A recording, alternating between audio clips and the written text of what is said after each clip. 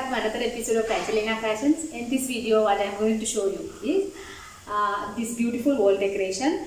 Uh, this all I made from paper and glue and some beads or stones, whatever you have, you can use for that. So let's start the video.